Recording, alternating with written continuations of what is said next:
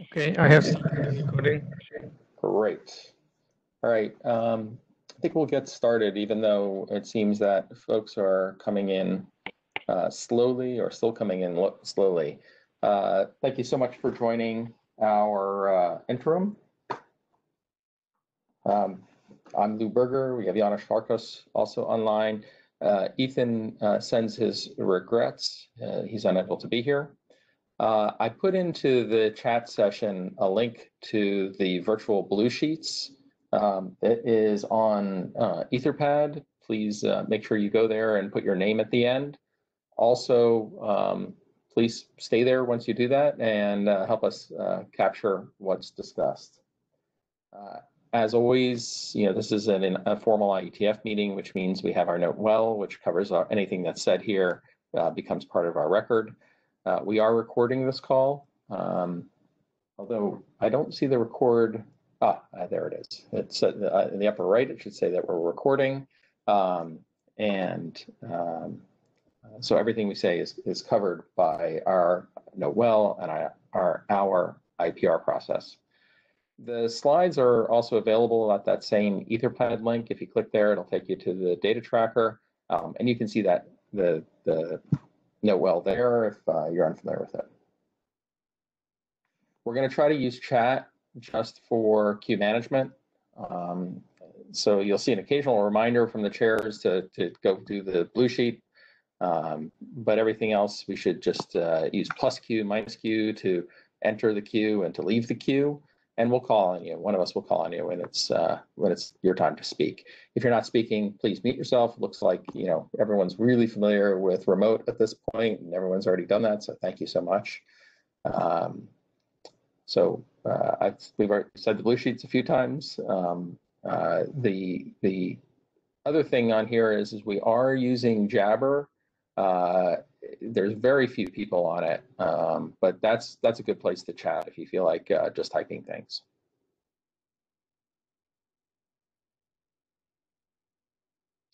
Our agenda is adjusted a little bit from where, where it was announced. Um, we're only going to be talking about um, uh, IPOAM. We dropped the what was originally the fourth topic with MPLS OAM because there was no updates to go over. Um, we think this agenda is not going to take the full two hours. Uh, if for some reason we do end up talking more on a particular topic or an additional topic, um, we can take that full two hours, but we don't plan to go beyond that.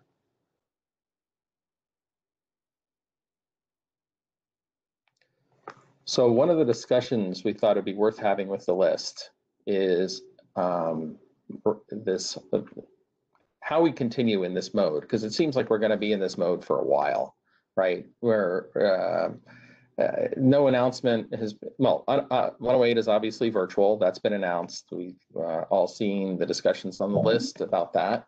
Um, 109 is still TBD. Um, you know, I'm personally skeptical about it. I'm also disappointed, but uh, I'm skeptical that that will be in person. But even if it isn't, it, it is in person. We're going to be working in this mode for a while. And we, we really wanted to get some input from the group um, on how they think we should be working. Um, and it, it's clearly a challenge. Uh, we've seen some good discussions on the list. Um, we've always done, you know, had the list as part of our formal process. Uh, that, that hasn't changed. Um, we've seen a fair number of informal meetings and we we support that. Those types of informal meetings are always available uh, to working group members. Uh, the chairs are uh, can set up the the working group WebEx, um, and we will we'll announce any of those meetings to the list so others can come in. And we also have these virtual meetings, and we're doing this. What we're doing here right now is an example of one. Frankly, it's a lot less attended than an in-person meeting. So you know, it's not clear how successful these virtual meetings will be. Um, and there is a virtual 108 planned. We do, we have put in a meeting request. Um, we're interested in hearing from uh, participants what how they think uh, the virtuals are going, um, the, you know, the working meetings, the virt this virtual, uh, as well as uh, how we might um, best continue be, in, during this time where we're, not doing in-person meetings. So um, I don't see people jumping in the queue, but here's an opportunity to chime in if you have something you'd like to comment or say. Uh, if not, we're also happy to take comments on the list. So I'll pause for a moment to see if anyone wants to jump in the queue.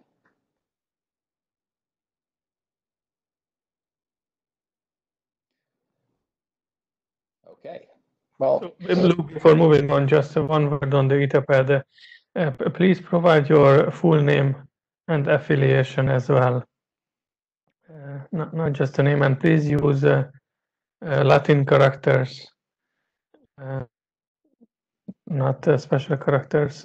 This is needed as, as usual for our blue sheet. Yeah, and that, that's part, also part of our record, and we do ask and expect people to, uh, to sign in with their affiliation. Um, uh, And, you know, it's whoever, whoever you feel that you're representing today is your affiliation.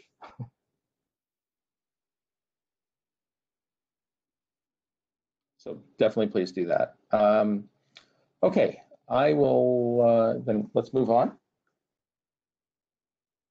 You have thoughts on this, um, please do send it to the list. Um, uh, it- it's an important topic. Just a reminder, we do have a, an IPR uh, uh, process where we um, formally ask for disclosure uh, of IPR both before adoption and before last call.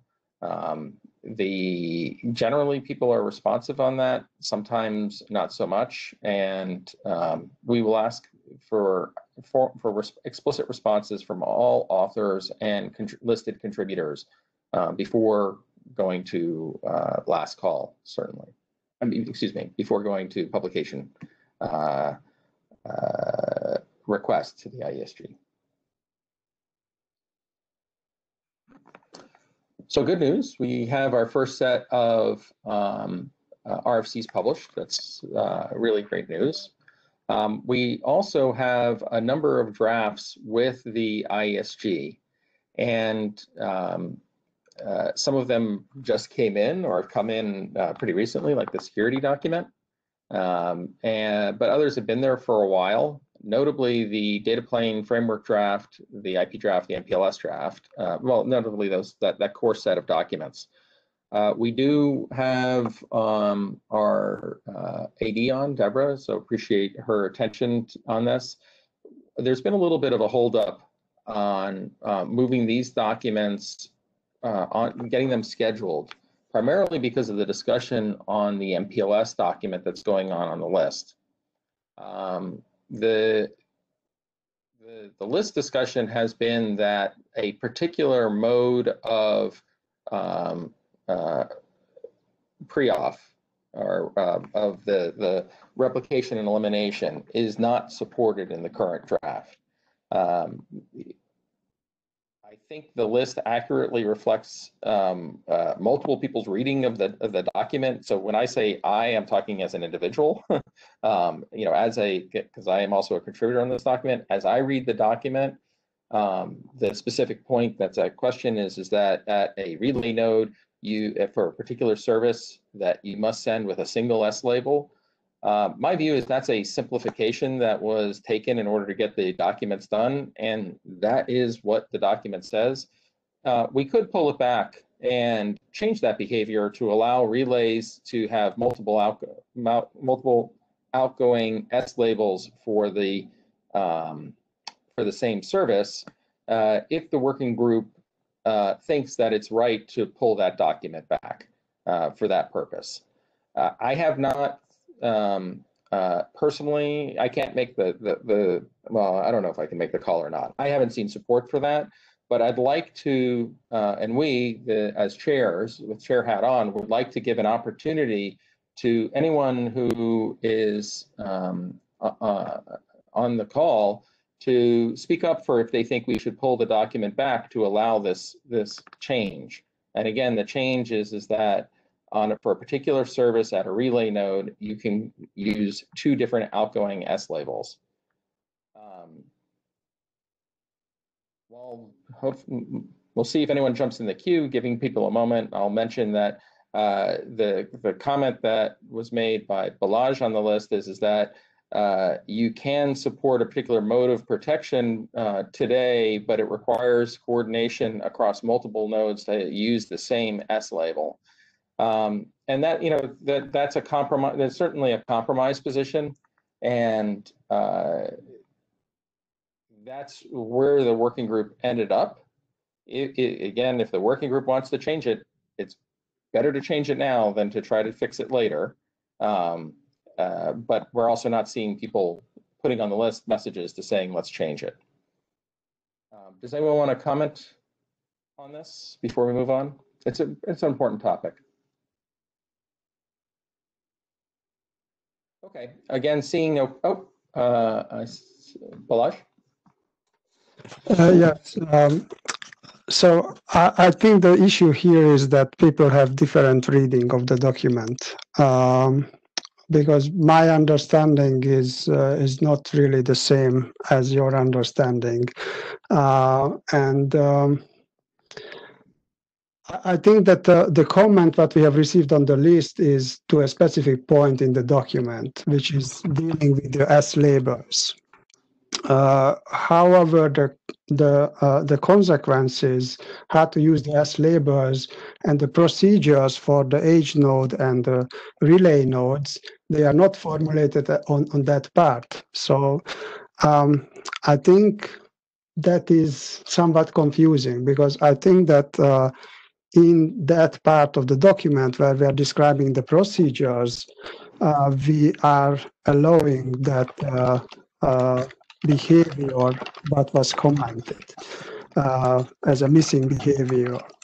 Uh, but I think during uh, them there were some discussion, and what I have learned is that maybe people read the document differently, which is not a good thing. Uh, and I, I, think it would be better to have uh, a really explicit document and not to fix it later.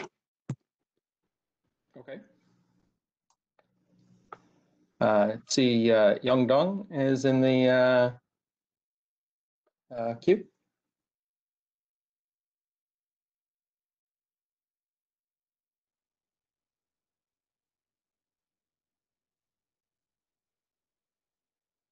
Uh, go ahead. You hear me? You hear me? Yes, now we do.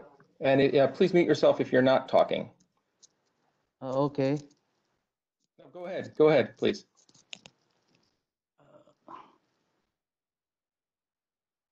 Okay, thank you. Uh, well, uh, uh, I I don't have a strong opinion opinion on whether we uh, should pull out the document, the draft from the from the IESG uh, evaluation or not.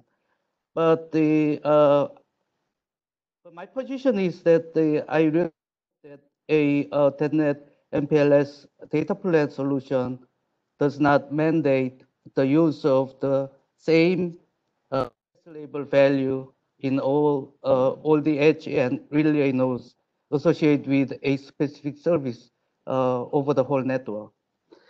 So if if it is too late uh, to add new text to the draft, uh, then the, uh, I think uh, um, we start on a, a, new draft which addresses uh, this issue. And uh, again, I, I, have no strong opinion. Okay, thank you. Yeah, thank you very much. The um, the draft doesn't require the same label everywhere. Um, the the particular point is is that the uh, at an elimination point, that elimination uses the same label. So at each elimination point, you have to both uh, incoming services. Uh, I'm sorry, both the incoming um, uh, forwarding sublayer uh, packets have to come in with the same the, the same S label, and that has an implication that if you're doing replication at multiple places, that they have to, each of those replication points have to use that same label. Um, even if you're, and this this is, comes in when you have overlapping uh, uh, overlapping cases.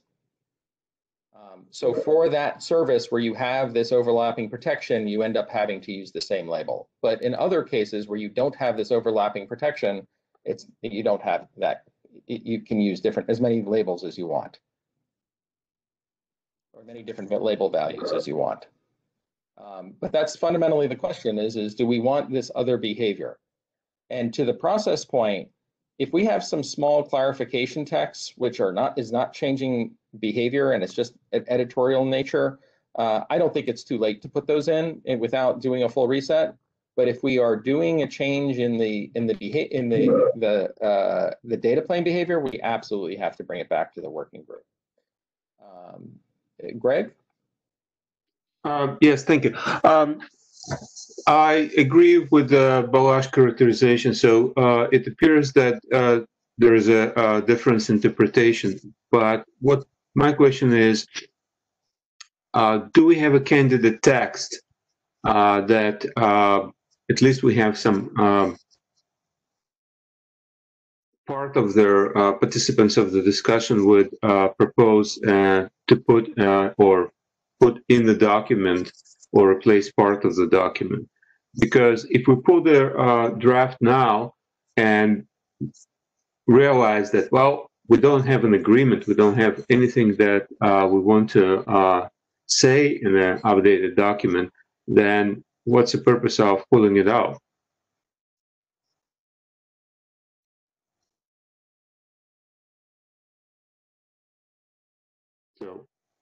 I think I think we have to make the decision of are we trying to clarify the current behavior or are we changing the behavior? And those are two very different uh, pieces of text. And I think it's the, the working group has to decide whether it just wants to make sure we have a clear document or we want this different functionality.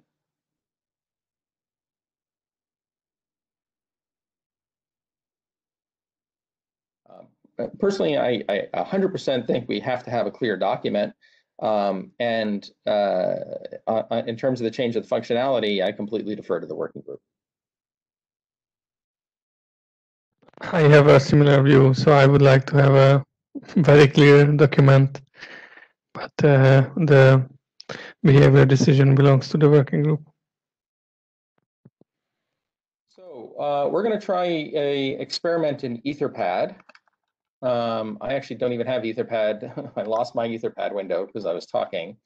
But I'd like to go into Etherpad and, um, ah, well, first of all, I know no one's capturing this conversation. The hope is, is that people will help capture uh, the, the discussion.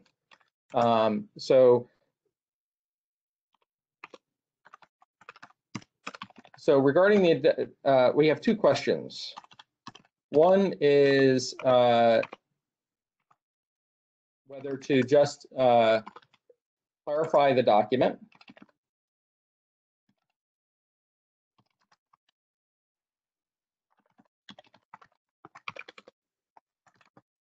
Or to do a, um, or to uh, modify data plane behavior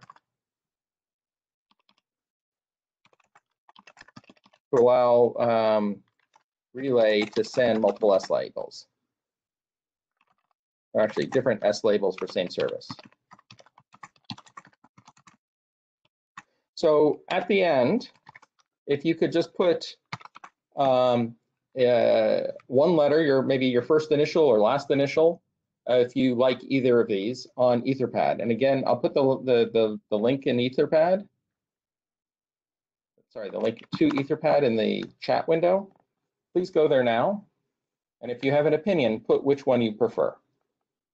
Um, it is acceptable to um,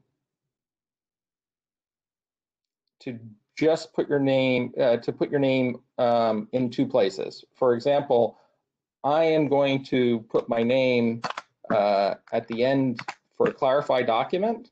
Um, I'm going to say I don't care about modify document. So this is a little bit of an on-the-fly uh, hum.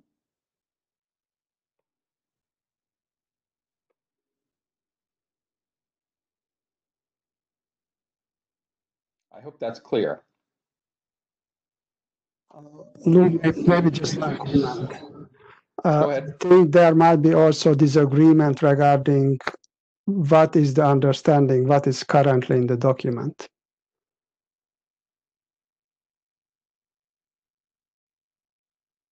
What do you, do you think that it allows multiple S labels uh, on the, uh, at a relay node Exactly, for the same service? Yes, You think it does? yeah. Or uh, it does not uh, prohibit it uh, explicitly, not to have it. So I think, uh, and, and that might be the major issue in the document, that when you are reading with what's set in mind, then you will say whether it is allowed or not. Yeah, I don't, I don't see your reading. It says there's a single S label per app flow.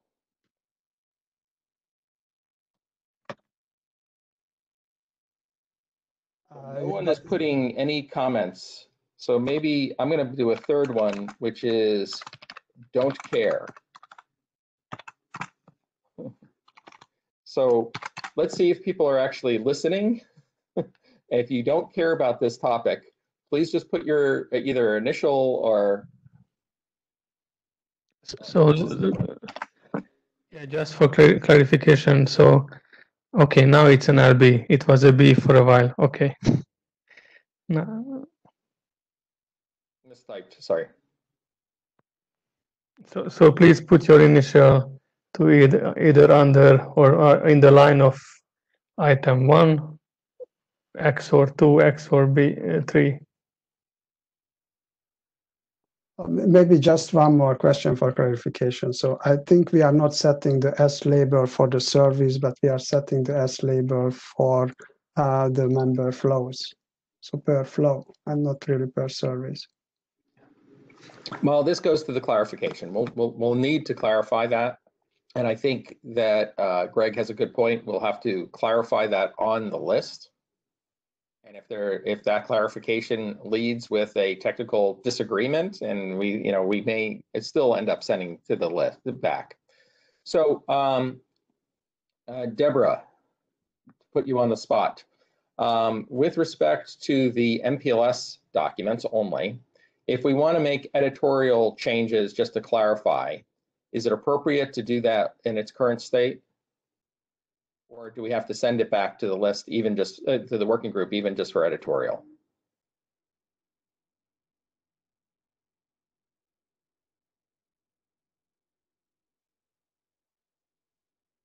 Deborah, you're on mute.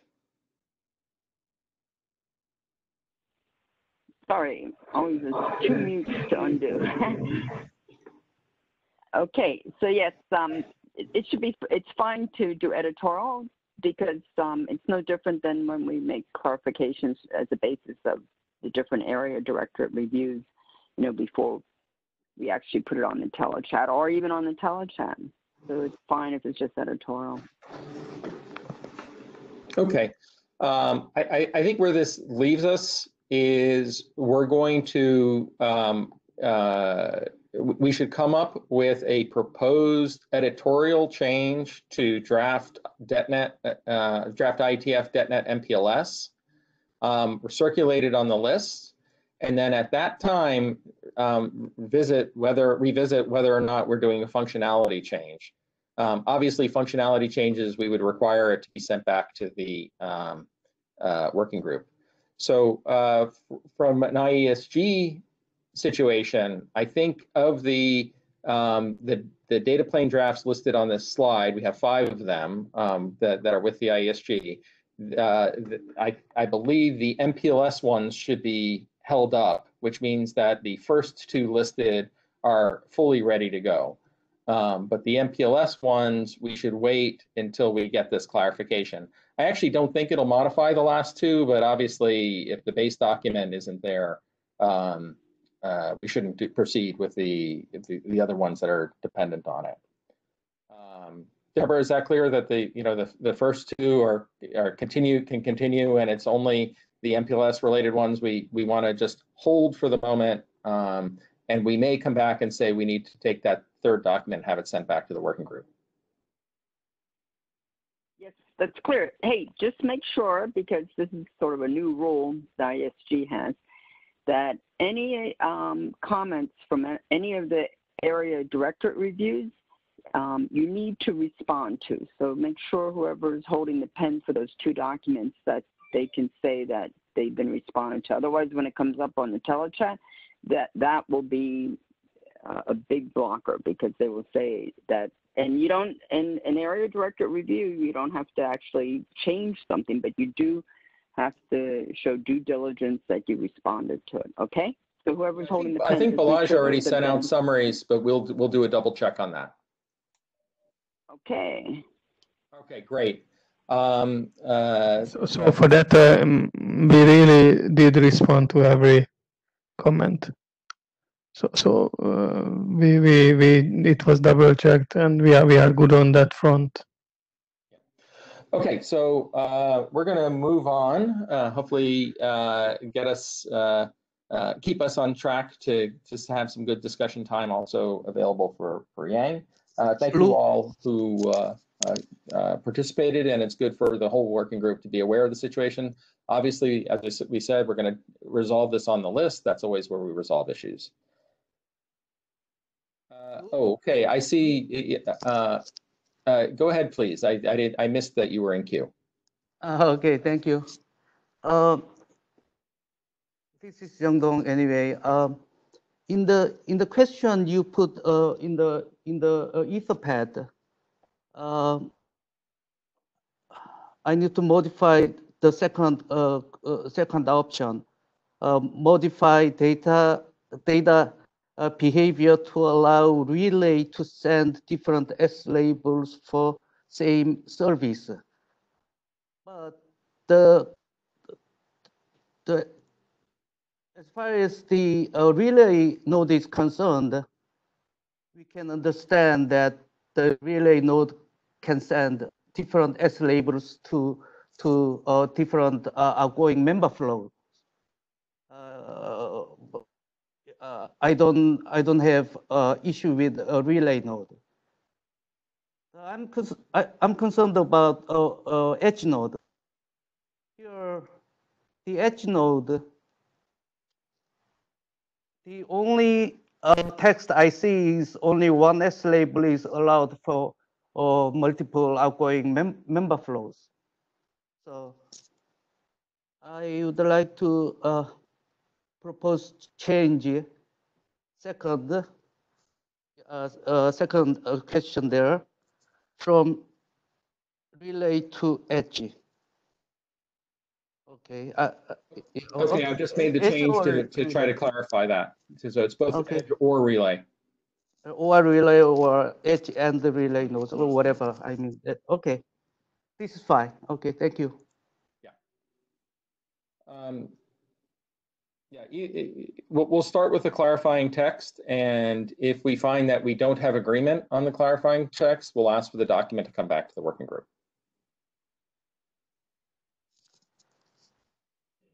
You want to do it right now or?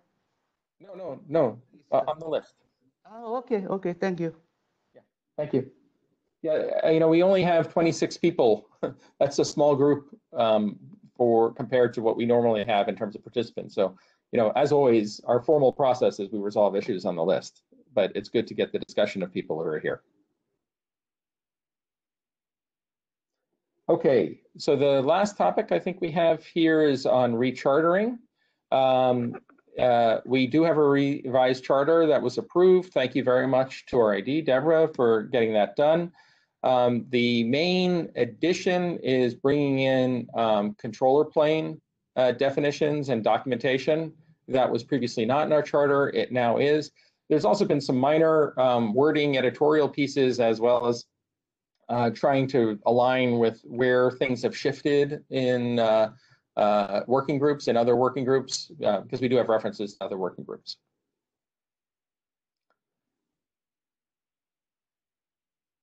Um, so that change is reflected in uh, also an update on our uh, deliverables, our, our milestones and deliverables. The um, uh, we have a bunch of items that are done. That's always great to have done items.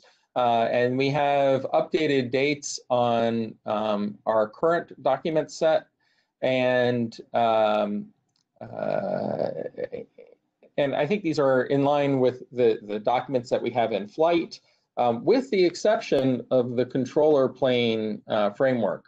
We had some good momentum on the controller plane framework. I suspect that um, uh, the last, the 107 being virtual may have slowed us down a little bit.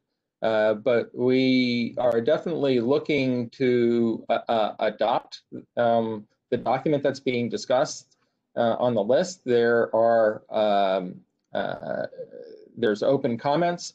Um, that said, if there's alternative documents that anyone wishes to contribute, we don't have a working group document at this point, so that's acceptable. Andy, you're in queue. Um, I just wanted to make sure everyone is aware now that um, this this uh, document has a new editor as of this morning. I was the editor. Um, however, my new job doesn't give me uh, sufficient time. So Xuesong has um, has volunteered to to take over the editorship. Uh, that's great. Thanks for the for the update. Um, uh, Song, we look forward to seeing a document soon. Uh, as an individual document, you know, the authors get to choose however they want to organize um, the content uh, as well as uh, authors, editors, and um, so that's great that, that the work will continue. Uh, yes, uh, thank you, Andy, for for your work and introducing um, me as the new editor for the draft. And maybe uh, I noticed that there were some uh, comments in the mailing list about draft, also uh, maybe some conditions from the work, uh, working group chair. Uh, and I will be uh, working on this in the following days. Hopefully we could move this document forward. Yeah, uh, from a chair uh, perspective, it's good to address comments that were sent to the list. I think Janos did send some comments, but I think they were sent uh, as individual. He can clarify. Uh, but no matter what, it's mm-hmm. it, uh, it, it's better to resolve uh, comments before we go into adoption that's then have comments to say, you know, we shouldn't adopt until these comments are addressed. So it, it's better just to, to, to, get get them addressed um, before trying to do an adoption. Yes, Uh, uh, yes, I just to agree. clarify, I, I- I sent it as an individual. The comment. Uh, yes, so, uh, Janos, would you like uh, me to, uh, respond to the email, uh, to the mailing list, or we can keep it, in private, private email at first, and if we have a conclusion, we can discuss in the mailing list? I would suggest using the ma- mailing. I would suggest using the mailing list because the discussion was on the mailing list, and um, and uh, uh, email. I think you might be wrong. Was that uh, Andy was about to uh, to make updates based on the discussion. So I think it's better Uh, to sure. continue with the with the group or in the list. Sure. And also, if anybody is interested in the work, yeah, please uh, contribute to the document or give comments or questions in the mailing list. I will uh, try to answer it and also um, cooperate with other authors in the document.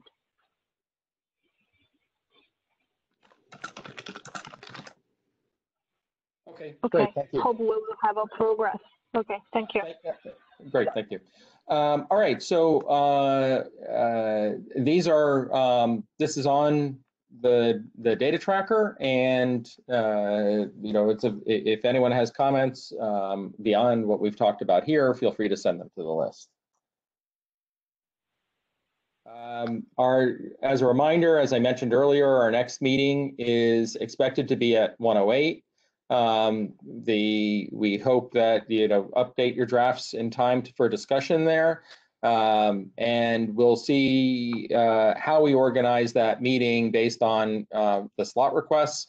one of the discussions that some of us have had is whether or not to have um, a uh, longer meeting where we, we like this, where we have uh, uh, close to well more than an hour and can get into some good discussions like we've done today, or to have a shorter uh, meeting that's almost just status and then having um, uh, more interim meetings. And this goes to the, the question we, we talked about earlier of, of how do we work in this distributed mode and what's the best way for that. And we certainly are looking for input on that and think about that in terms of making a request. If um, you do make a request for the session, but also think that you would like to have an interim uh, to cover a particular topic, feel free to put that into a request. Again, anytime uh, a contributor wants or participant wants to either have an interim or an informal meeting, just let the chairs know and we'll we'll um, we'll coordinate on that. Uh, with that, we definitely have gone longer, or I definitely have gone longer than I had hoped on this topic. And we're going to switch to the next topic that's up, uh, which is um, TSN. Uh, Balazs, if I think you're the one presenting, either I can present from here or you can grab the screen as you so choose. And that's for all presenters. If you want to present from your from your own screen, please feel free to, to, to say that that's what you're going to do. If you don't, I have them queued up here. So your call. I, I think that that is fine. Thank you very much. So this is just a summary about uh, the TSN related uh, DetNet data plane drafts. And if we can jump to the next slide, it is just highlighting that we have three documents. Uh, two of them is dealing with scenarios where TSN is a subnetwork uh, in a DetNet. So these are DetNet over subnet uh, scenarios. This, these are the IP over TSN and MPLS over TSN documents. Uh, and the third document is dealing uh, how to interconnect TSN Ethernet uh, networks over a DetNet domain. So that is the third document. Uh, please jump to the next slide. It is just providing the link to the document, so we can skip this and go to the next slide. Uh, and uh, in the slides, I will uh, update what what is the content of these drafts and what was changed before uploading the, the latest version. so the IP over TSN document specifies the deterministic IP data plane when it is operating over a TSN subnetwork.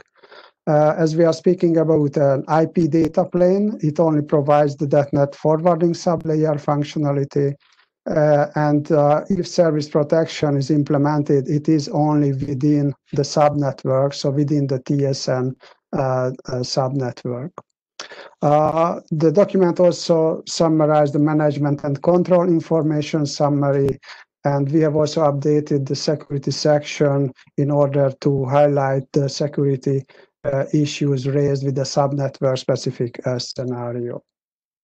Uh, the next slide is uh, summarizing uh, practically the, the behavior uh, from management and control information uh, perspective, what you have to provide. Uh, we have defined the functionalities for a TSN aware IP DetNet node. and that node is practically member of both the DetNet domain and the TSN subnetwork. Uh, and within the TSN subnetwork, uh, the DetNet uh, node behaves like a TSN aware talker or listener. So that is the role that it must fulfill. Um, and uh, of course, the DetNet uh, flow uh, related parameters and identification, they must be converted to TSN stream IDs and stream related parameters. There are three set of information with, which have to be provided in order to configure such a, a DetNet IP node in order to use uh, the TSN subnetwork. So there are DetNet IP uh, related configuration because it have a DetNet role. It has TSN related configuration uh, according to the TSN role, but uh, that uh, node has in the inside the TSN subnetwork. And the, uh, and the third set of uh, configuration parameters are related how to map the DetNet IP flows uh, and the TSN streams. Uh, the next slide is showing uh, the MPLS over TSN document. Uh, if we can jump to the next slide. Um, it is describing uh, uh, the scenario where a TSN subnetwork is used to interconnect uh, MPLS DetNet nodes. MPLS data plane provides both DetNet service and forwarding sublayers. Uh, we have uh, taken the service protection interworking out of scope in the document. So this is something that is left for further study.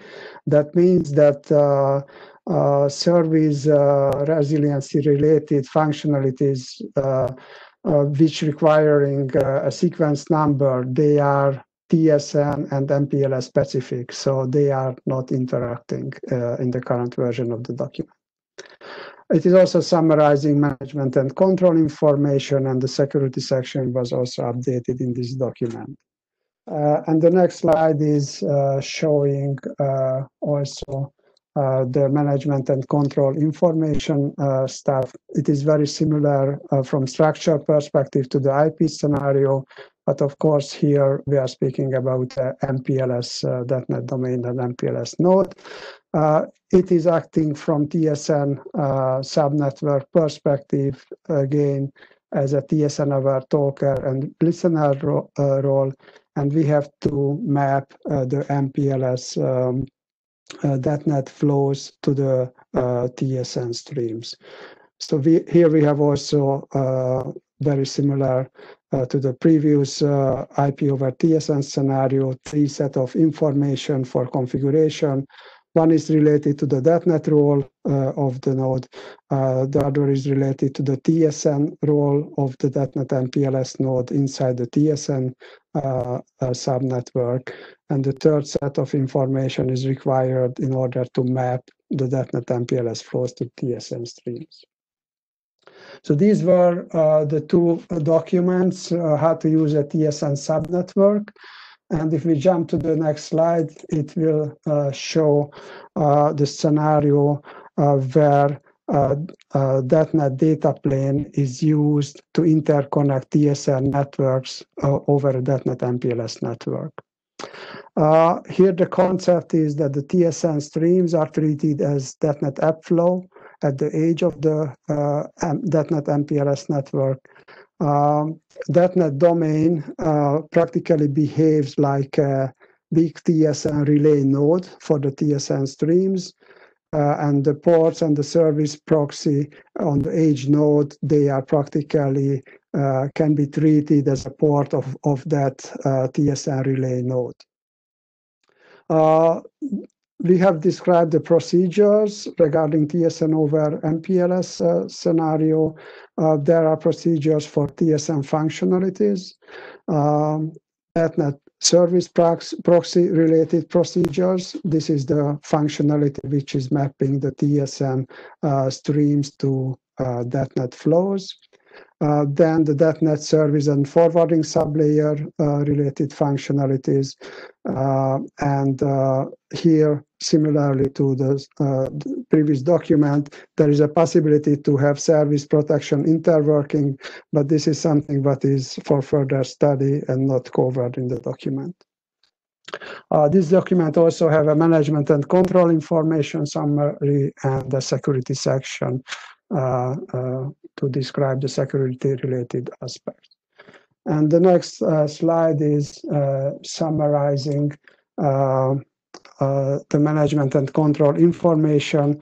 Uh, here, practically, the major focus was on the service proxy functionality on the edge nodes.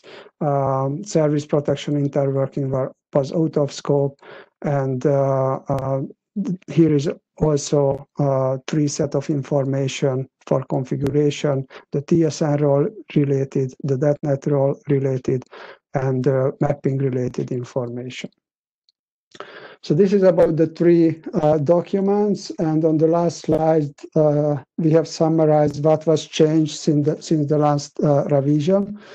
Uh, so there were editorial updates, uh, abbreviation section, references, clarification, typos, they were corrected.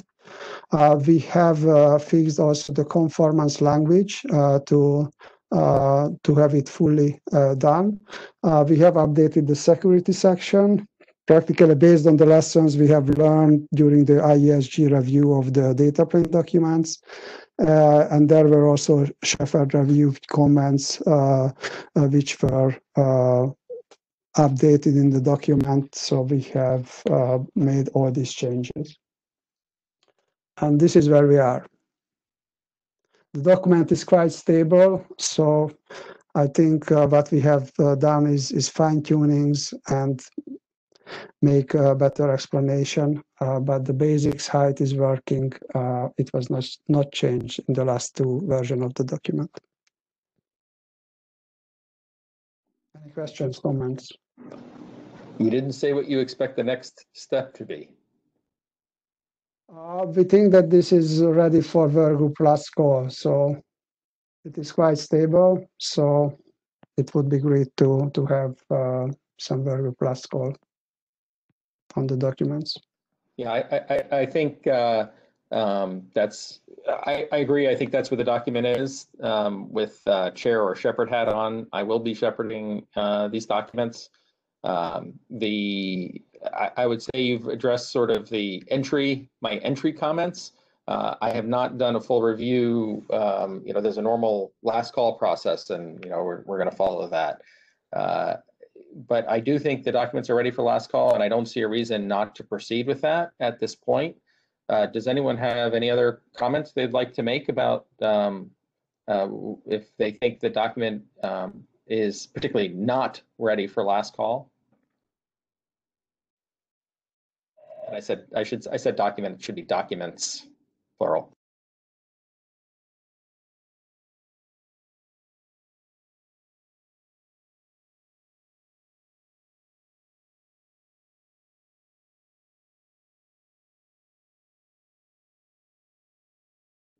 Okay, um, are we ready to move on?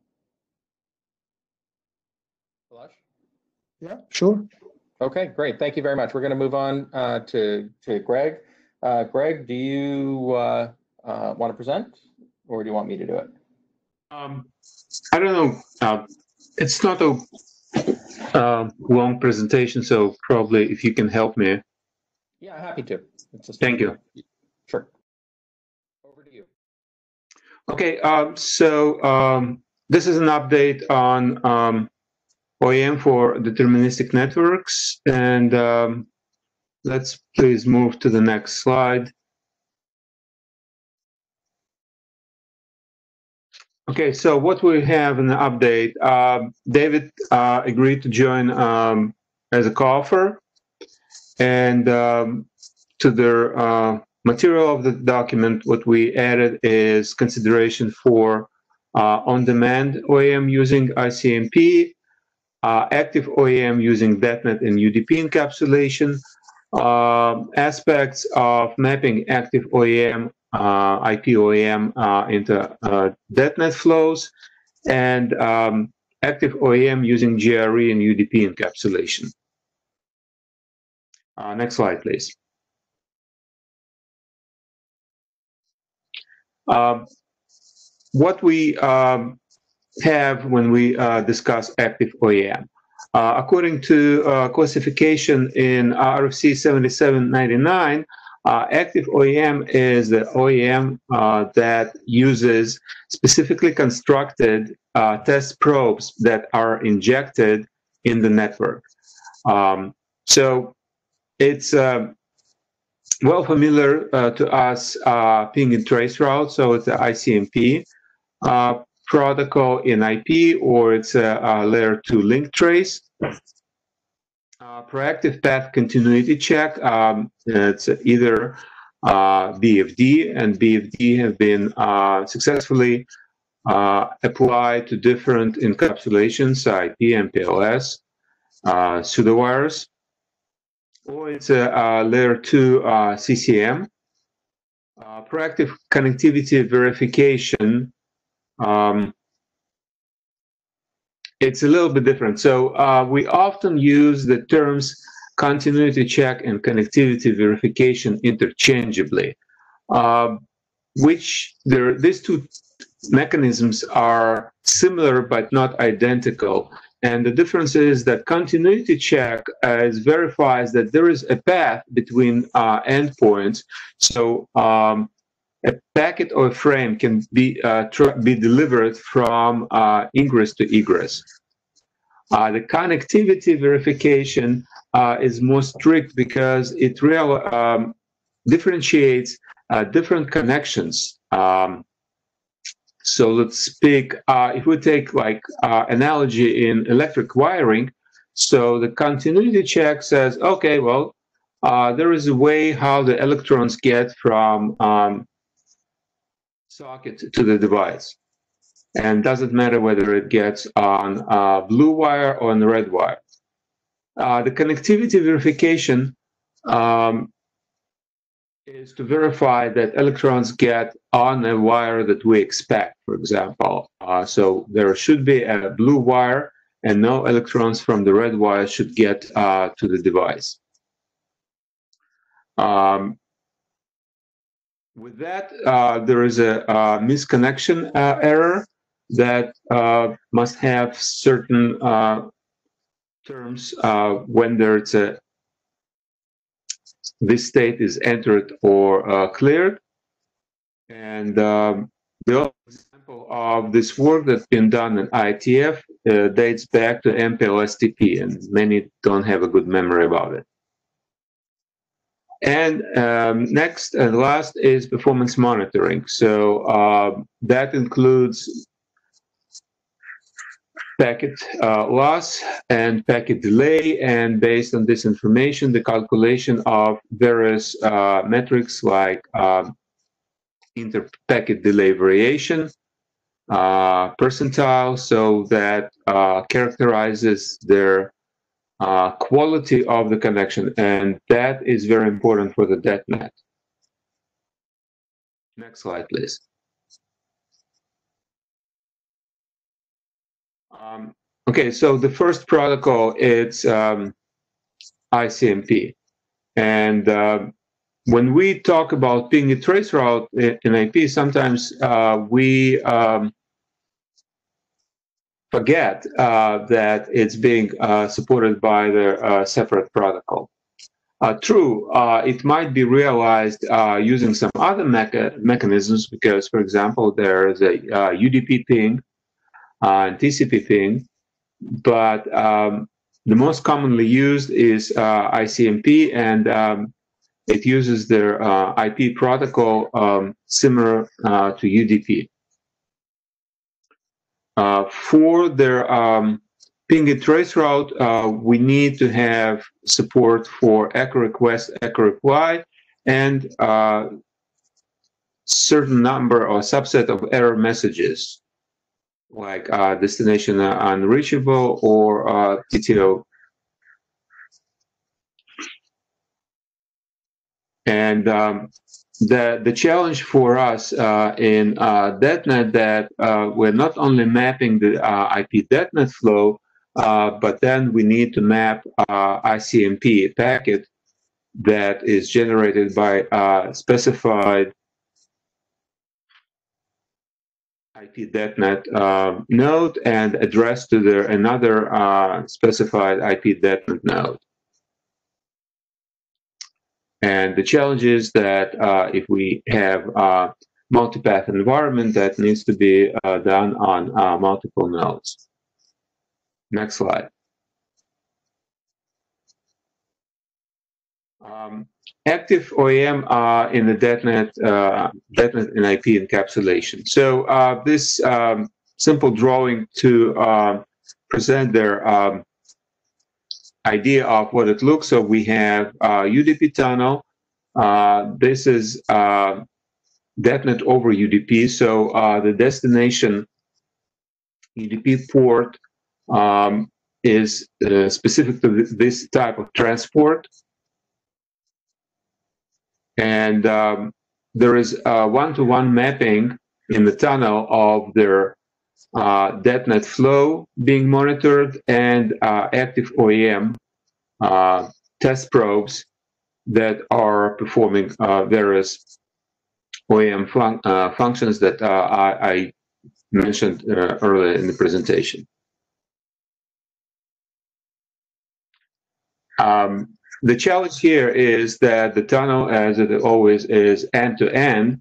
So um, the whole IP uh, domain looks like a single hop for the DetNet flow and uh, resulting for active OAM. Uh, Greg, I'm going to recognize myself as being in queue. Um, Uh-huh. uh, So you're proposing basically a data plane, a new data plane encapsulation, which is um, an IP flow, IP DetNet flow inside a UDP tunnel, right?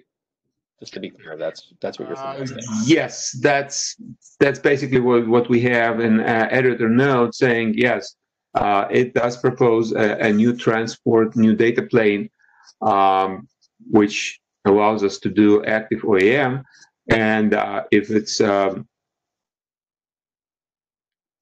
if the working group uh, thinks that this is a viable solution, then probably this work has to be done uh, outside of this document.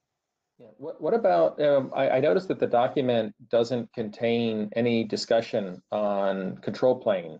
Um, I, I sort of expected you to draw the same picture, but instead of say UDP tunnel, um, make that as an aggregated service. You can Do that just through the control plane. Um, well, actually, I, I think that if we go to the next uh, uh, slide, so that's where we talk about um mapping of uh,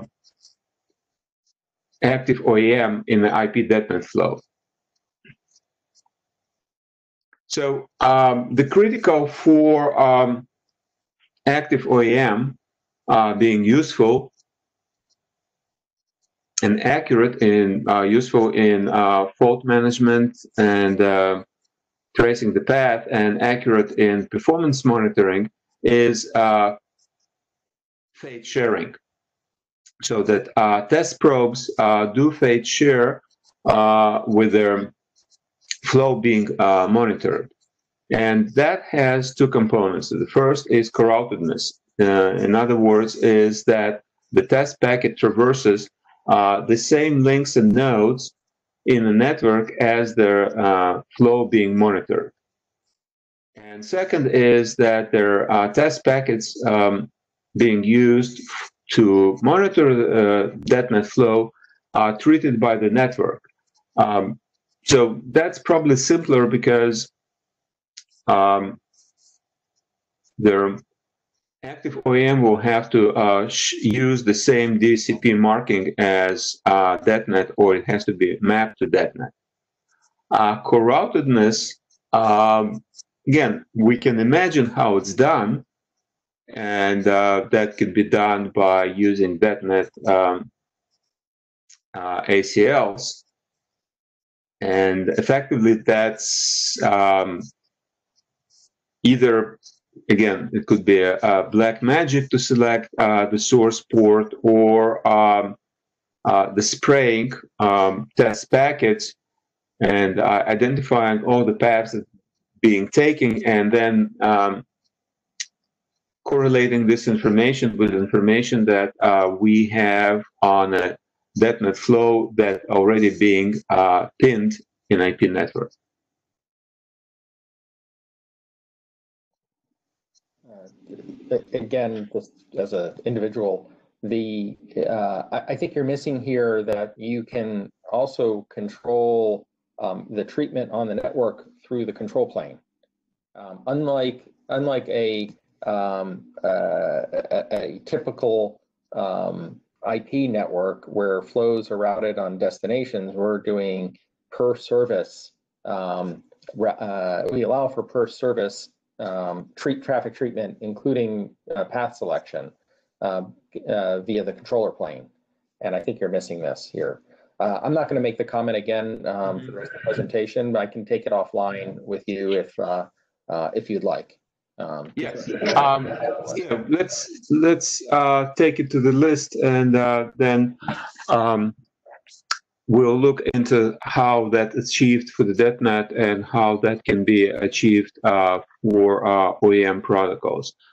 Um, as said, um, so there are ways of doing it um, uh, through the ACLs, but if it can be done in um, control plane uh, per flow, per protocol, because again, one of the challenges in uh, IP active OAM is that each protocol um, uses its own uh, well-known uh, destination UDP port, because uh, except for ICMP, which is a different uh, IP protocol, um, other active OAM, uh, they use UDP transport, and to demultiplex protocols, use um, destination ports.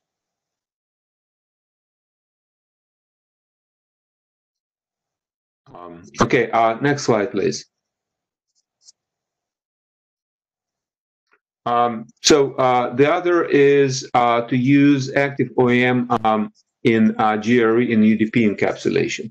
So uh, it does not affect uh, IP DetNet uh, flow, and only OAM is encapsulated. So it reduces the scope of the problem and only this GRE and UDP uh, has to be mapped to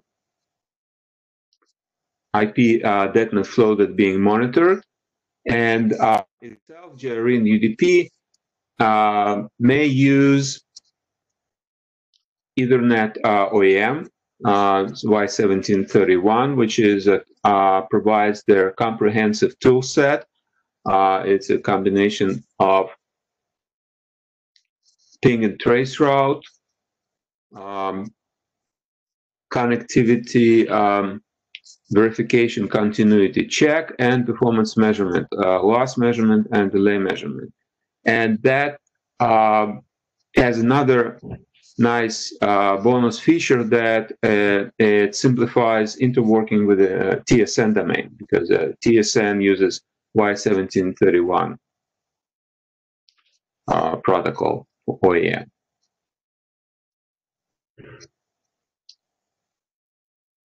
Um, so that's uh, what we updated our document with. Uh, next slide. Uh, we have Balazs in queue. Ah, okay. Yes. Uh, yeah, one question regarding your UDP tunnel encapsulation, and it is a question for uh, clarification. So does it mean that practically you have to take each packet and decide uh, during the forwarding whether it is an OAM packet or a normal data packet and you have to forward? Um, well, for uh, GRE UDP or? Um... No, no, for the UDP tunnel, your previous. Uh, DetNet over UDP? you, you had a slide, I think, uh, just going two back where we have the figure. Yes, yes, yes. There is a, yeah, DetNet over UDP. Yes. Yes. It, again, uh, because it basically um, makes the whole uh, IP DetNet um, domain as a single hop. So it egress, um, there will be uh, encapsulation at uh, egress will uh, terminate the tunnel. So, so, there, so there practically, is, yeah, there will be a mapping into the tunnel based on uh, certain rules and uh, control plane. It could be um, uh, control plane, for example, like uh, what we're doing uh, with their advertisement. It could be BGP based um, control plane or something else. Uh, but, but, that means practically that OAM functions cannot be in the intermediate nodes. You are expecting them only at the end of the UDP tunnel. Uh, the, the, okay, there is some uh, tricks that we're playing uh, with the, what's uh, called uh, transcending thing. So basically, you can know how your tunnel is traversing the domain. But effectively, yes, you are absolutely correct. Um, their domain from OAM perspective will look like a single hop. Okay, thank you.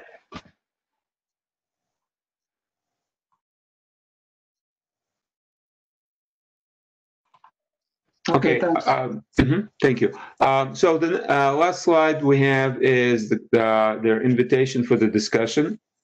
And uh, what we would like to have is, and uh, I appreciate the uh, Lou comments, and uh, I'm looking forward for uh, continuing this discussion on the list, is uh, what um, needs to be added to the document, there are too many options, so definitely we would not recommend all three options. And I, I think that when we go for the discussion, um, we want to and um, and select one of the uh, mechanisms that will uh, uh, take forward, and then we can uh, ask um, consider uh, working group adoption. Yeah, At some, at some point, um, I mean, it's good to catalog the options for, so that the working group can down select, but at some point you don't want to say you're, you're doing everything. Um, uh, but Yeah. definitely this is a great, a great, uh, uh, start. Thank you so much. Thank you. Yeah. Um, again, I, I, I appreciate your comment, and uh, it's a very good idea to uh, preserve some information which probably can be moved uh, later on into appendix. Sure. Uh, absolutely. All right. Um, so now we're going to move on to uh, Yang, the Yang conversation. I believe, uh, you're going to present first. Do- you want to take, uh, do you want to present from uh, your screen or do you want me to uh, do it and you say next? Uh, Lou, please help me to show the screen because uh, there will be multiple others to do the presentation. Okay, great. Thank Uh, you. Thank you so much. uh, Yes. So just as a, just as a time check, uh, we, we actually sort of internally thought we'd, you'd end up with 45 minutes, so you're pretty close to that. Um, So you, you have a fair bit of time, and uh, for everyone else on the call, this is the uh, last topic we plan to uh, discuss. Um, And uh, so I, I, we're expecting that this will take the, from the time from now until the end, uh, however long that goes. All right, Xuesong, over to you. Thank you. Okay. Okay. Uh, this is Xuesong, and I will introduce the first part of the slides. Uh, we end the new order, Dang, he joined uh, our work, um, I think from uh, last IETF.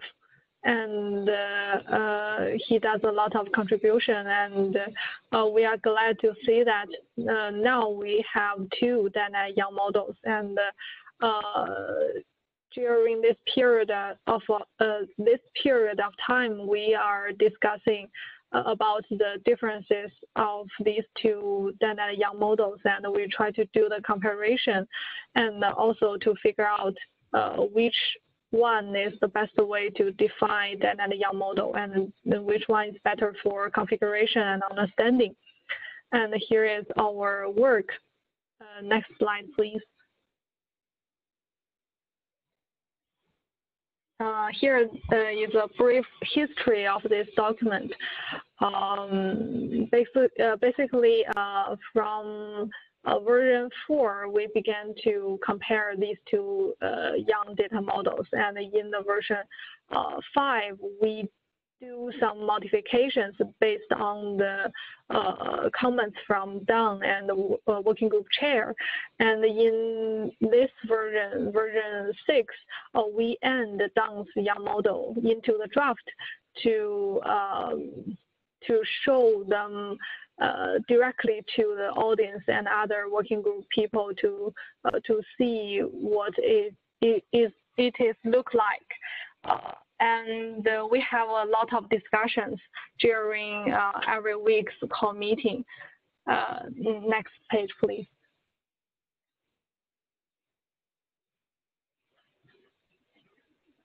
Uh, here is the scenario covered by Dana YANG models. Um, basi basically, uh, according to the DetNet architecture draft, the uh, DetNet YANG models uh, is designed based on two, three layers The first one is the application layer and the service sublayer and the forwarding sublayer. In each sublayer, we could choose different kind of data plane encapsulations. Uh, the combination between different kinds of data plane uh, encapsulation uh, forms different kinds of data plane draft. And the intention of the DetNet YANG model is to cover all the existing data plane draft and uh, pay attention to not uh, create new ones. Uh, and in the current version, we could cover uh, the the first three drafts listed here, the uh, DetNet IP, DetNet IP over MPLS, and DetNet MPLS.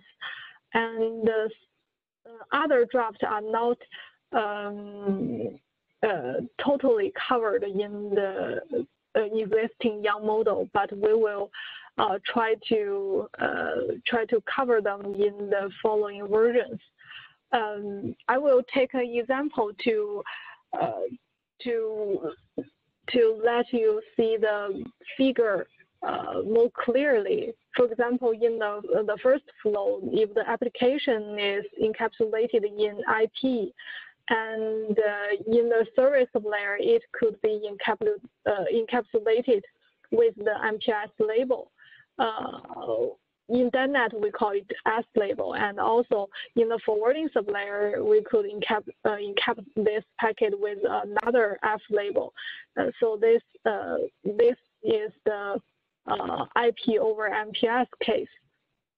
And with other combinations, we could cover other uh, different kinds of data plane solutions. Uh, this uh, this figure is uh, contributed by Deng, and we all agree that uh, this figure could show the the scenarios very clearly. Maybe uh, in the following introduction, if Deng have any other thing to end, we, we could go back to this page again. Okay, next slide, please. Adam, or if you have anything. Yeah, I was just going to say that um, basically um, one of the one of the challenges of doing the um, the the Yang configuration is there are so many combinations and permutations, both from existing technology and stuff like that. So it, uh, this this diagram kind of came about a little bit later than we probably should have, in the sense that um, we we we started to to to track the different combinations, and then we said um, for this version we're actually, like you mentioned, sticking to a fairly a fairly strict simple case of IP over MPLS. Uh, service sublayer and forwarding sublayer because um, it, it, it quickly becomes complicated. So that's why we've focused on the the simple case for now. And then, uh, the, you know, the intention is to cover all cases. But I th I think, but by focusing on that mainline case first, it, it helps bring clarity to the to the um, to the discussions. Thanks. Okay, agree. Mm, next page, please. Uh, yes, uh, here is the review of um, what we have discussed during the uh, every week call meeting. First, uh, we try to uh, define the architecture of the DetNet YANG model. Uh, there are a lot of ways to um, envision the model, and we agree that the structural model has benefits. And also, we try to figure out the building blocks of the YANG model, and we also put some fingers in the mailing list.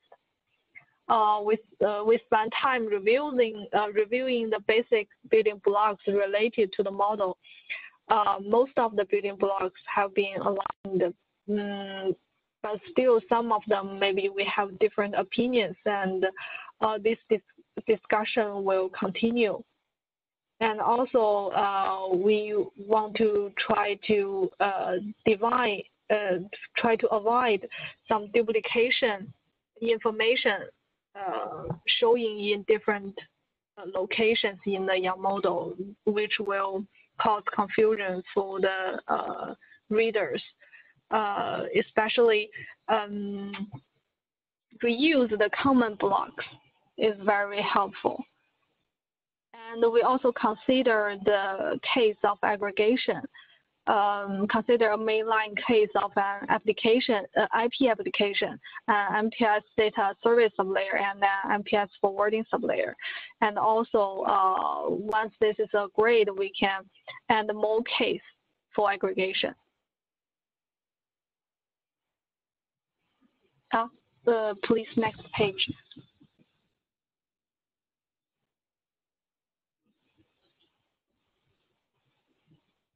Um, as I have mentioned, there are two existing YANG models in the uh, current draft. Um, one of them is contributed by Yuanchao and one of them is contributed by Deng. Um, both of these two YANG models, we believe it could uh, cover the cases uh, in the existing data plane draft, uh, but there are some different uh, design considerations in these two uh, data YANG models. Um, they have some similarities. For example, they are all layer-based, including application layer, uh, service sublayer, and forwarding sublayer. And uh, they could cover all the uh, existing data plane solutions. And also, the aggregation has already been taken into consideration. And after discussion, we uh, conclude that all these two YANG models could do aggregation uh, in different cases and also they have some differences. For example, uh, the YANG model is direction aware or direction unaware. Uh, and another one is the, the different ideas of the how to design the structure of the model. For example, different groups of parameters combined flexibly based on the requirement or use the same structure for all the cases by configuring the corresponding group. And in the following slides, uh, we will let uh, these two authors to introduce uh, his uh, YANG models. We will introduce the structure of the YANG model and also uh, give an example of how to uh, how to configure the DetNet flow with these two YANG models. Lou, are you in the queue? I am, thank you. Um, I maybe I misread it or misunderstood the discussion on the weekly meeting. Um, I thought one of the other differences is that in one model, um, the same information has to be configured in multiple places, and in the other model, um, you basically configure pointers to that other information. Um, did I misunderstand that?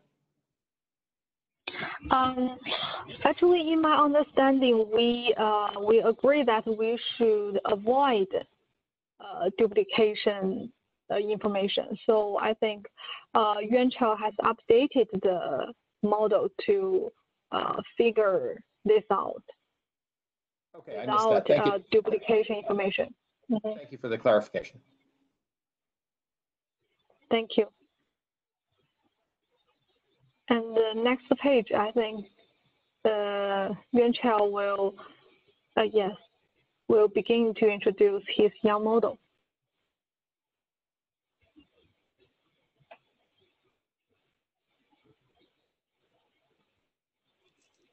Hello.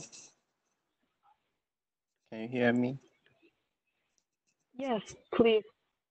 Uh, uh, configuration YANG model have a uh, three part of container. One for the F-flow. This is F-flow container. There have a F-flow name and in segment and out segment. In segment similar of this F-flow key value.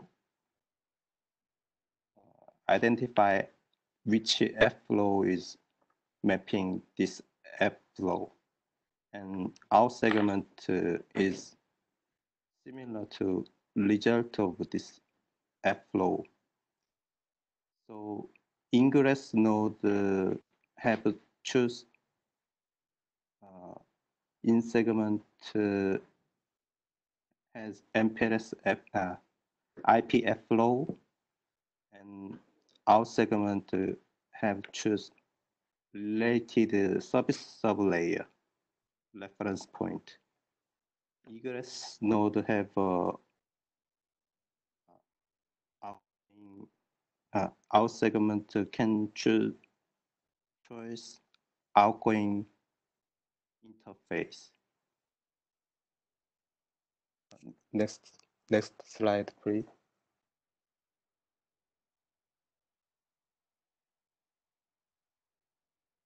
This container is a service sublayer. Uh, service sublayer has, has a name and their operation. In segment, the same as this service sublayer key value. Uh, ingress node uh, have a IP uh, ingress proxy operation. So in segment have, have a IP uh, flow reference point, and out segment have a forwarding sublayer reference point, and egress node can be choose uh, MPLS the net flow identification value and our segment can choose uh, related flow reference point. and relay node in uh, at the relay node case in segment can choose uh, incoming uh, net flow identification value and our segment can choose our uh, related forwarding sublayer reference point. Next uh, slide, please. This is forwarding sublayer container. Uh, in segment and out segment uh, have a service sublayer reference point and forwarding identification value and related uh, service sublayer and outgoing interface. At the relay or ingress node have a uh, service sublayer reference pointed choose service sublayer at ingress uh, in segment and out segment uh, can choose going interface reference point. Uh, relay node and egress node uh, choice uh, can choose in segment to have, have a forwarding identification value and our segment is uh, service sublayer reference point and at the transient node uh, in segment can choose forwarding identification value and out segment uh, is have a outgoing interface reference. Uh, next slide, please. This is uh, example topology. Uh, their incoming IPF flow 1.1.1.1 to 8.8.8.8. Ingress node uh, have, a I, uh, ingress proxy to MPLS DetNet flow. And egress node terminate the DetNet flow and outgoing IPF flow. And relay node one have a uh, relay node one can be replicate two member flow and relay node two eliminate the two member flow and outgoing one single compound flow. Next uh, slide, please. just uh, one second uh, on on that slide. Um, this this is the the point at which we began having the discussions about the S labels and the different values for the the S labels. Um, so they, those S labels could be all the same as well. Single relay node two.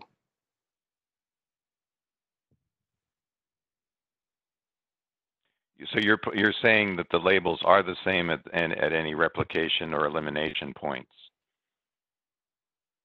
Yes. Yes, but they could be the same all the way through too. Mm, yes.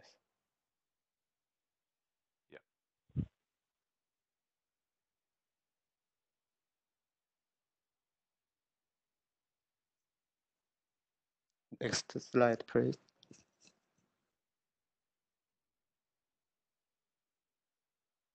This is configuration example for ingress node. There have uh, three configuration. One for the flow. flow have a app uh, name is app1 and in segment uh, have a interface uh, zero and source and destination IP address. Our segment uh, have a service sublayer reference point as uh, SSL1 and service sublayer configuration. Is a name of SSL SSL1 and the traffic requirement uh, as a show, show in this configuration.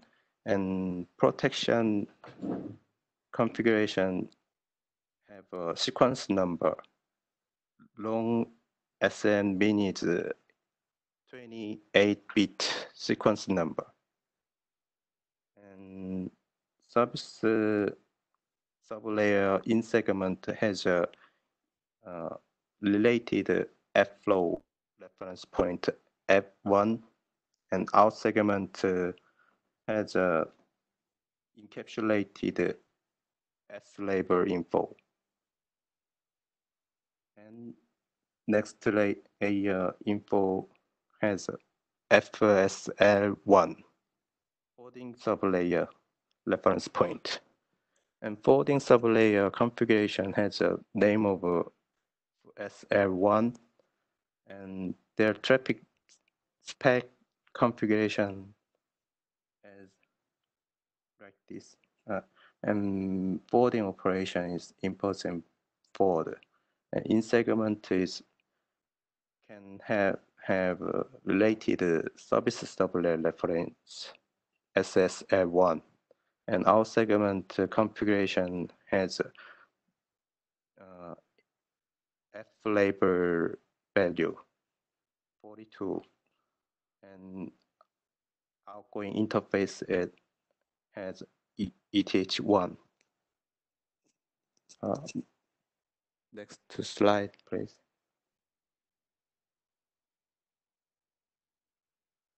This is for example for relay node. Uh, relay node, first of all, have configure forwarding sublayer for terminated uh, LSP. So forwarding sublayer configuration have a name of FSL1. Uh, their incoming F label is configured at in segment. So in segment have a label 42 and out segment configured at SSL1 that indicated uh, this uh, forwarding in sublayer pub and related with the SSL1 service sublayer. And service sublayer SSL1 has a protection configuration. Protection type has a relay uh, replication and uh, incoming 5555 S label swap to out segment uh, have a sw- swap label value 6666 and there will be fold to two folding sublayer. One one is a F is FSL three. FSL uh, FSL two and three have a out segment configuration for outgoing F flavor and outgoing interface reference point. Next slide, please.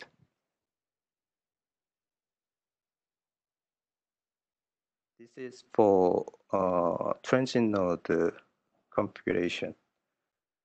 Uh, transient node uh, in segment configuration for the F label, uh, incoming S, uh, F label and outgoing uh, S, out segment configuration for the outgoing swap S label, swap F label.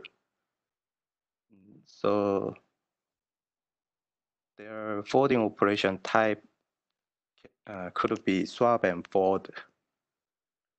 Next slide, please. This is uh, configuration for relay node. There happen at uh, happen for elimination. Uh, FSL2 and FSL3 is incoming forwarding sublayer, forwarding sublayer. Uh, in segment uh, have a label value 5 and 46 and their operation is pop and lookup and our segment uh, two forwarding sublayer can configure a same service sublayer reference point SSL1 and SSL1 sub sublayer configuration have an incoming uh, S, S label value 66666 and their protection uh, services protection type have elimination and going swap the S label configure the out segment and next layer configuration for the outgoing compound flow forwarding sublayer. So FSL4 forwarding sublayer configuration has a uh, related service sublayer reparation point SSL1 configured in segment and out segment has a outgoing F label 47 and outgoing interface has a ETH2. Uh, next slide, please. This is configuration egress. Uh, egress node, first of all, they pop the F flow. So in segment have a 47 incoming F label configuration and our segment to have a related uh, service sublayer reference point SSL1 and service sublayer SSL1 has a S label value 7777 at the in segment. And their out segment uh, has a related F flow reference uh, F1 and their operation type is service termination. And F flow configuration in segment is F flow ident- identification value And our segment uh, configuration has an outgoing interface, ETH1. Next slide, please. Uh, uh, I'm done. Thank you. Okay.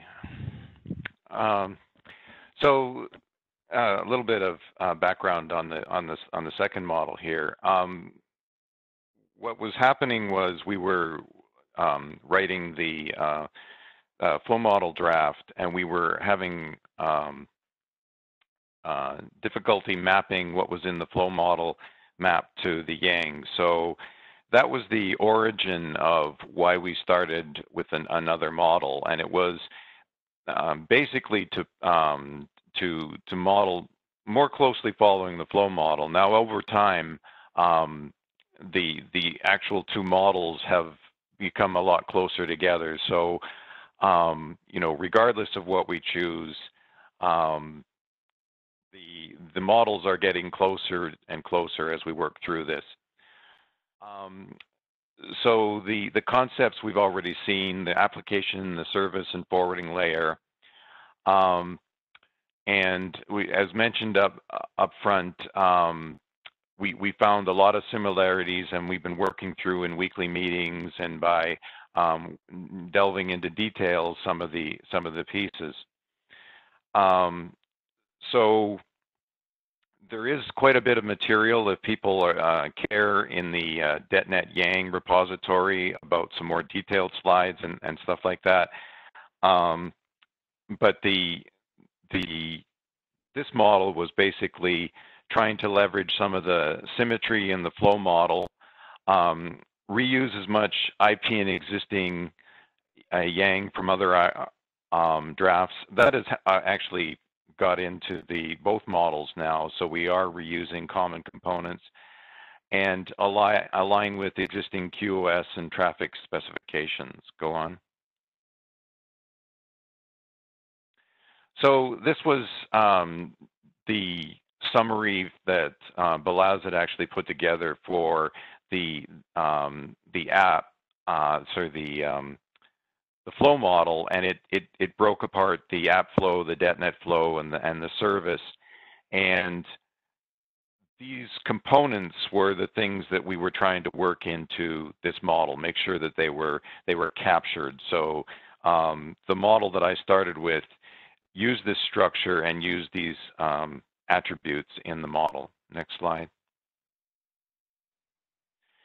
So the the structure of the models are, are, are quite similar, but um, this was the the structure um, that we ended up, and this is always an iterative thing. I think with a, a, large model like this, you start out with something and you try it, and then um, you go back and you see what's working and, and, and what's not.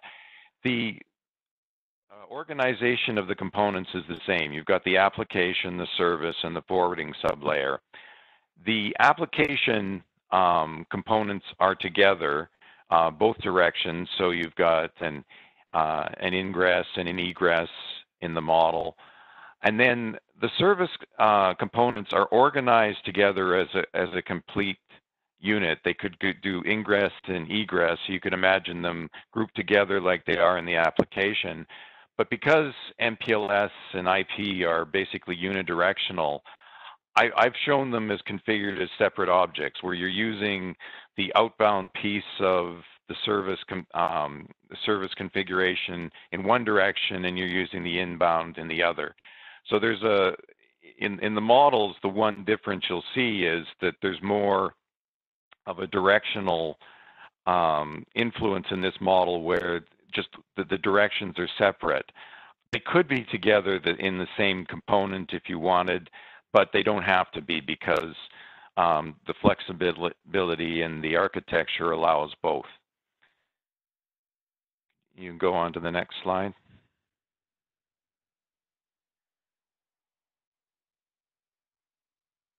So when you look at this level, um, and this is a summarized level of the applications tree. You, you see um, very similar to the, the, the previous diagram that uh, Young Cho um, presented.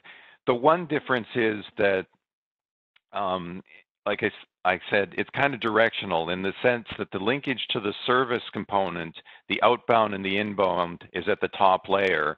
And the ingress functions and the egress functions are are are separated from that. So if you look, if you you go back and you look, I don't I don't suggest we do it here, but you can go back and look, or you can look in the draft at the difference. That's one of the differences in the model. So when you're configuring, you'll see that we go down one branch in in one side, and then you go down the other branch in the other side. You can go on to the next one. Similarly, for the um, service sublayer, um, there's um, there's an outbound side and an inbound side, and if you're using the unidirectional model, you'll only be going down one branch of the tree. If you happen to have them both together in the same model, you could have both of them configured together. Go to the next slide. And for the forwarding sublayer, the same same uh, organization. So for the reference pointers, um, I, I, started out um, trying to make sure that you only had to configure the reference pointers in one place. It ended up being when I went when I went and I did the configuration model with YangLint. The most obvious place to do that was in the service sublayers. So you actually configure the reference pointers that um, you you will be using for the, the, the various pieces once in the service submodel and the, the ones in the um, in the application and the forwarding layer to the service can actually be um, inferred by the backend processes from that one link. So you don't have to um, to manage both of the pointers and get them right. You should be able to configure the pointers for the service references in one place. Uh, go on to the next. So this is the uh, the example of the configuration in this one, and it, so you will see the the difference here is that for the um, for the application side, there's an application and there's only an application ingress. There is a um, it, it's not shown as the service reference is not shown in the application uh, configuration because that's a read-only object and the, the, the, configuration that I'm using in YangLint is showing a config model, not an operational model. In an operational model, you would actually see the, uh, the uh, service sublayer reference pointer at, at the application. And then in the services, you can see the application uh, reference, and you can see the um, forwarding sublayer reference. And again, it's it's only in one direction in the in the services layer here. And then the forwarding sublayer, again, you, you've got um, the the reference because it's uh, it's configured in the services sublayer. You don't see it in the forwarding model because this is a config model. You would see it in the operational model. So very similar um, attributes. We kind of aligned our examples to similar pieces so you could compare them more easily. And this is just showing down at the bottom. We, this is the basically an application, uh, an edge node configuration showing all of the three components. Go on to the next one. So in the in the reverse direction, when you're uh, coming back in from the forwarding sublayer, you, you have a very similar structure, but now we're, we're going an input in the forwarding sublayer, and that goes into the service. With the MPLS, you just need to identify it by the service sublabel, and um, it, it knows the because of the uh, the application that is is tied to that label. It can it can refer to that application, and then you have the application piece, and then the application uh, configuration for that. So that's basically um, where this model stands. It still needs um, a few a few pieces as we work through the different uh, cases, but that's the the overall organization. And I would say that we, we have come a long way in using common components and common names. So we're getting pretty close. It's, it's getting harder and harder to see the differences. Um, next, next slide. So um, at this point, um, we we have to figure out the the the for the the model what we're doing and then uh, get some more input from the working group if they feel, you know, anything in these in these models in particular should be kept. Um, and uh, we should be discussing here what the next steps are. Open the floor up. We've got a bit of time left to, um, you know, for some people to ask some questions and and to get a feel for what we think the next step should be in this. Yeah, I, I, have to say that I think from, um, you know, I, I've, I've been attending the meetings and also sort of trying to track the general situation, but I, I, I think it's really hard to see what the, the core differences are and what the core question that's being asked of the working group. Um, I don't know if it makes sense to go to the back to that similarities and differences slide. You know, presumably it's in these differences that the questions exist, right? I which author I'm addressing this to. Obviously, I'm addressing it to any author. um, you know, does it make sense to talk from here and say, you know, what, and, and for some one of the authors to specifically say, what question are you asking of the working group? Uh, and if you're just saying you're giving status of where you're working through and that you're going to continue working through these in the weekly meetings, that's fine. You know, that's that's actually a fine statement also.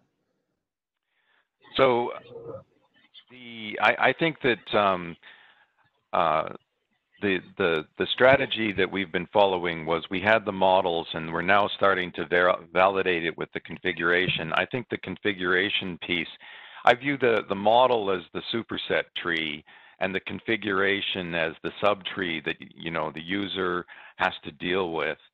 And I think that's bring, bringing clarity to the subject. If you look at the what was presented today, the only difference that I see is that um, not the only difference, but the major difference I would see between the two models is that in the original model, there's this concept of an in segment and an out segment. Um, and in, in the model that I presented, there's a, there's a, uh, a pointer to the service sublayer that's not in the out segment, but it, you know, that is, that is a, just a pointer. And there's basically uh, uh, the flow is as as a, a, a packet or a frame comes in, you do an operation on it, and then you hand it off to the next layer. Um, the when we originally did the discussions, there was a lot more. There was sort of some ingress processing and then some egress processing, but in the configuration models that I see today, there was not much on the egress processing anymore. It was just a pointer to the other layers. So we we have converged and we have to make sure that you know we're not talking past each other um, so i think there's more work just to make sure that you know we are on that same page but i think the models are closer today than they've ever been do any of the other authors want to uh, say anything uh, actually, I agree with um, after these um, discussions, we have this uh, have discussions a lot, and these two YANG models are becoming more and more similar, and a lot of uh, details we have discussed them make them uh, more similar, and. Uh, I think uh, maybe it is hard for the working group to give direct uh, suggestions uh, because uh, there are a lot of uh, details in the YANG model and it, is difficult to see which one is better in the call meeting. And perhaps from the um, from my point of view, I just want to show the progress of the YANG model to the working group. And uh, after the interim, we will continue to have the uh, call meeting. And uh, if the difference is not so uh, significant, I think we could uh, fix them together and to uh, make a better YANG model to combine these two models. This is my opinion. Okay. Uh, Thank you. Uh, uh, Yanshao, do do you want to say anything or do you agree? I agree. So, I mean, from, from my standpoint, uh, uh, I'm hearing that this is just an update and to let people know that the, the work is continuing in these weekly meetings. The meetings are announced and open to everyone. Um, So, you know, I, I, I appreciate the, the update and also the work to work towards, you know, moving things that are maybe differences into, you know, figuring out the similarities and, and figuring out how to bring these together. Uh, If you do hit a point where you want input, you know, specific input, or you, you know, hit a roadblock, uh, certainly feel free to bring it to the list. Um, uh, I know you're discussing this on the list, and that's great. Uh, also, we can discuss it at the, at 108, which isn't too far away. Um, so from my standpoint, I, I appreciate the update and, uh, more importantly, also is appreciate the hard work to, to bring forward a, an integrated solution. So, uh, thank you. Uh, we have time, we have a couple of minutes for other questions, if anyone wants to jump in queue or other topics.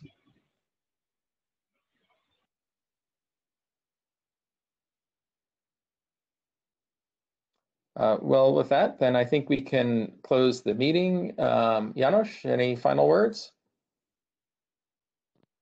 I also would uh, like to join in thanking for the hard work uh, done by uh, by all the contributors, uh, like uh, finalizing the core data plane drafts and um, progressing the the rest of the data plane drafts and the flow information and so on. And and uh, now the YANG being the major work item and all these uh, weekly working meetings and discussions and and and uh, and uh, progress made and very, thank you very much for all- for all the updates and um, looking forward to to moving on and make uh, further progress